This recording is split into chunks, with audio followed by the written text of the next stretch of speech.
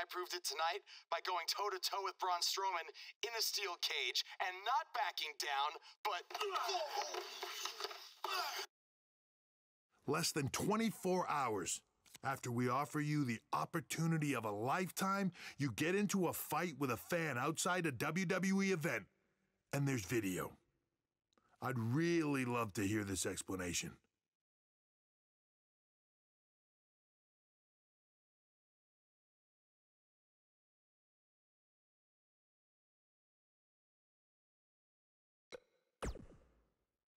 I am so sorry. I never intended for this to happen, and I can promise you it will never, never happen again. I didn't ask for an apology, I asked for an explanation.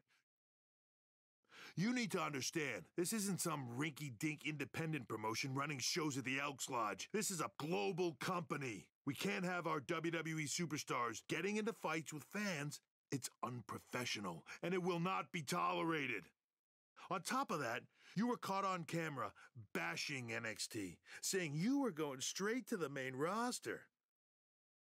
Who in the hell do you think you are? Look, I was just having fun with the fans, okay? I was just about to say that I would be happy to go to NXT, and then I was attacked. Oh, I bet.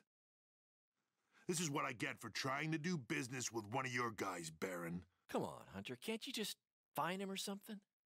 No, I can't find him if he's not on the active roster. I'm rescinding the contract offer. Leave or I will have security escort you out. Don't ever bring me one of his guys again. Understood. This is on you too. Remember what I said about making me regret my decision? Congratulations. You did it in record time.